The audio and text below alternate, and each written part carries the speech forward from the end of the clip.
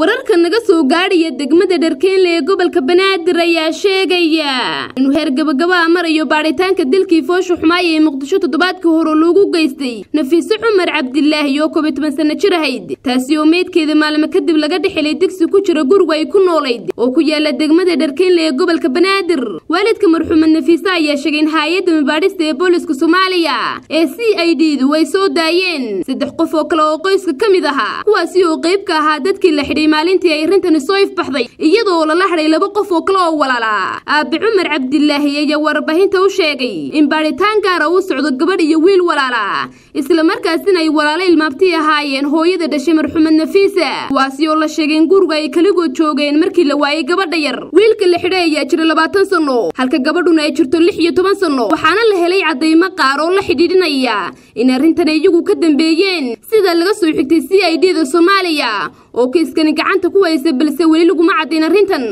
Afhayeenka ciidanka booliska soomaaliya sidiiq aadan daadisho ayaa maanta warbaahinta u sheegay in kiiskan uu marayo meel wanaagsan islamarkaasina ay dhowaan soo saari doonaan warbixin dhammaystiran. Falkani uu ahaa mid aad u foolxun ayaa cabsi weyn ku abuuray qaar ka mid a shacabka magaalada muqdisho oo ilaa hadda aad u hadalhaya ilwaad yuusuf teer b c t